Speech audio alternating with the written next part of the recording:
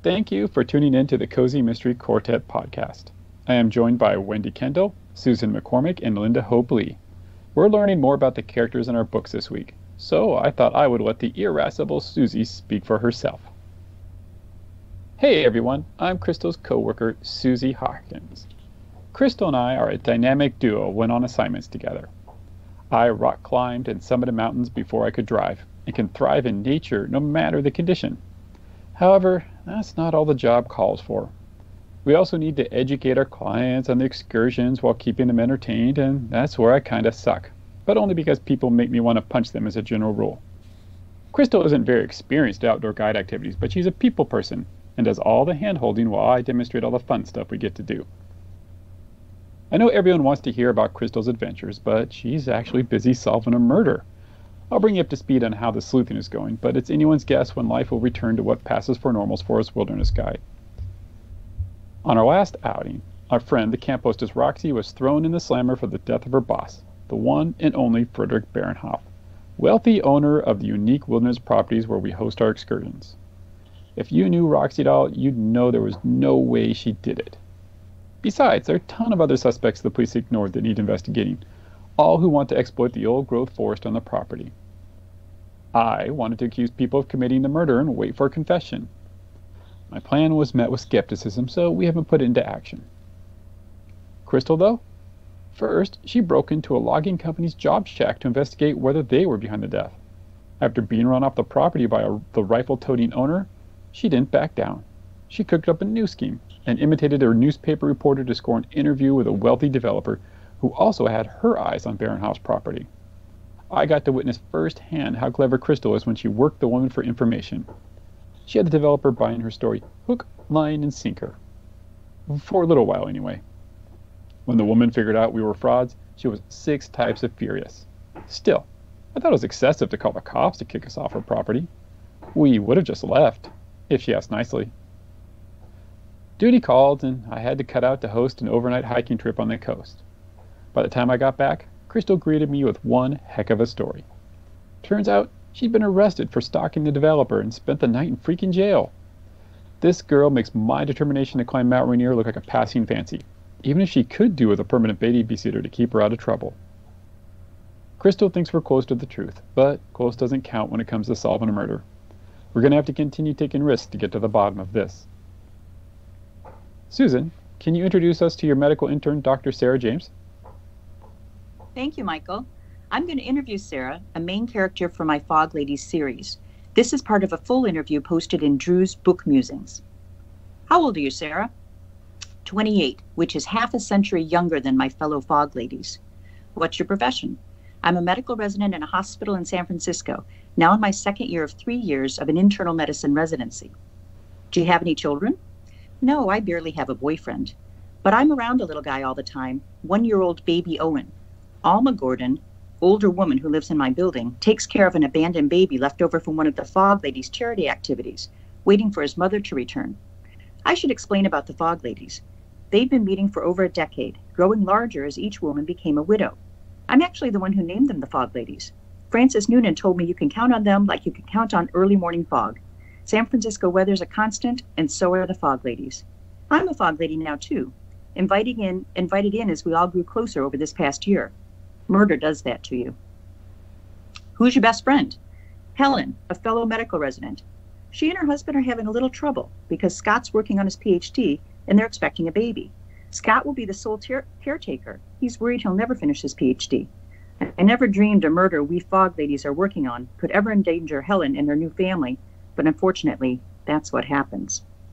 Do you have any hobbies? No. I'm a medical resident. I don't even have time to read a book.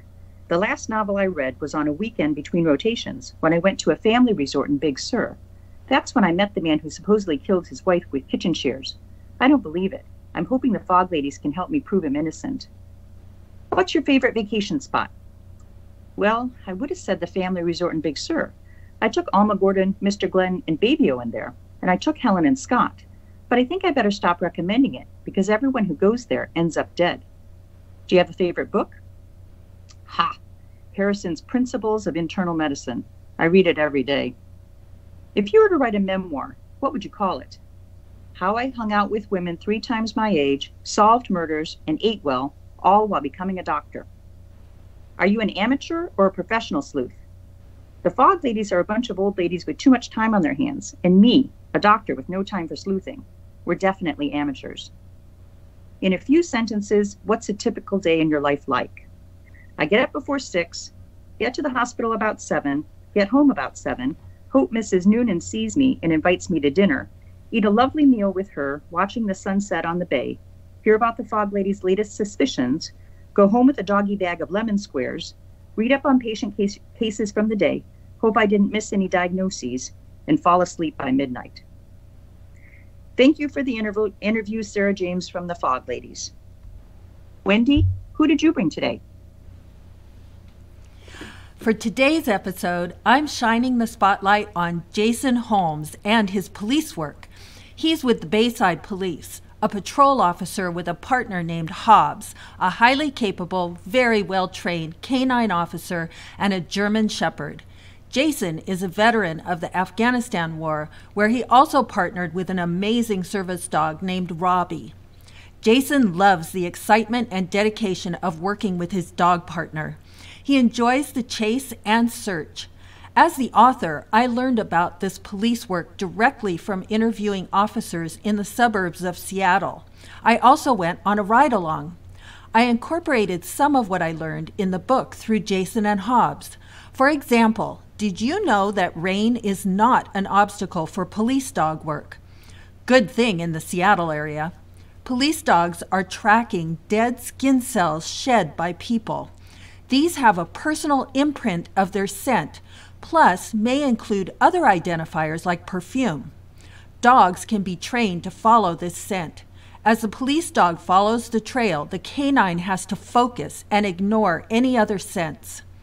Dead skin cells can float on top of a water surface, so suspects can be tracked over water. Rain is actually an advantage because then the shed cells stay in place. The drizzly rain around Seattle is the best, but if it turns into a downpour, that's not helpful. You can hear about my ride along on YouTube's Kendall and Cooper Talk Mysteries on the episode titled Riding with the Big Dog. Although Jason loves his job, he would like to become a detective. Once the immediate chase and search is over, Jason is expected to turn all evidence found and all information over to the assigned detective. And then he's off the case and on to the next patrol. It's hard for Jason to let it go, but that's his job. Jason meets Catherine Watson very early in the mystery Cat Out of the Bag as he drives up to the crime scene with sirens screaming, lights flashing, and dog barking while showing fierce white teeth. There's a spark between Jason and Catherine at first meeting, but that passes quickly when their initial personalities as cop and purse designer collide. One day at the library, Catherine sees the children's reading group, the Rough and Ready, where shy children readers practice reading to enthusiastic dogs. Hobbs is there, sitting with a relaxed Jason. Catherine's second meeting with them outside the library gets the spark flickering again. Jason says, Hobbs, meet Catherine Watson. Jason nudged the dog's front paw so that Hobbs would hold it up. Catherine laughed and took his paw in her hand to shake it. I'm delighted to make your acquaintance again, Hobbs. I confess I'm a cat person, but I won't hold that against you if you don't hold it against me. She put his paw down on the ground. Oh, Hobbs, show her what we think of cat people. And with a slight movement of Jason's hand, Hobbs was sitting up with both front paws out begging. That's his plea that you reconsider your pet position. Catherine laughed and petted the dog with both hands as he stood up on all fours now. She scratched behind an ear. Well, you are irresistible if you truly represent those of your ilk. I have a cat at home that would disagree, though. Oh, well, Hobbs likes cat people, but what do you think about cats, Hobbs? At Jason's subtle command, the dog lay down on the ground and covered his head with both his front paws and started whimpering.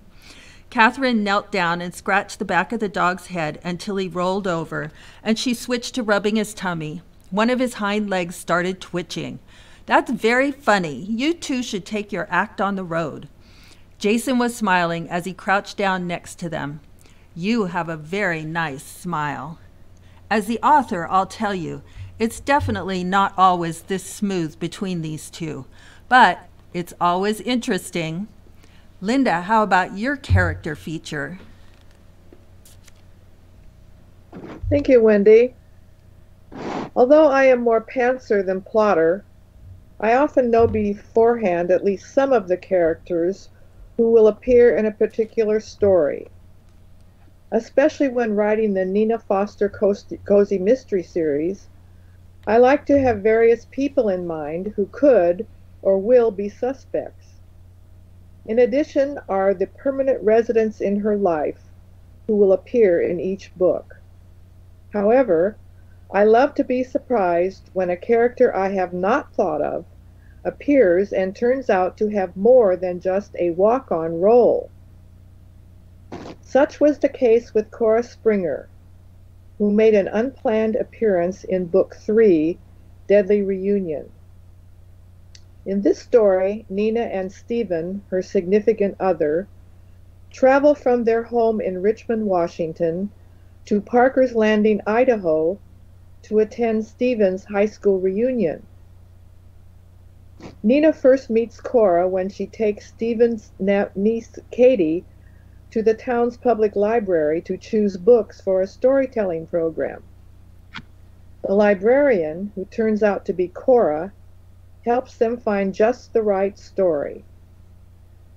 Both being librarians, Cora and Nina have much in common, and they quickly relate. As Nina and Katie prepare to leave the library, Cora says to Nina, While you're in town, I'd love to get together and compare notes.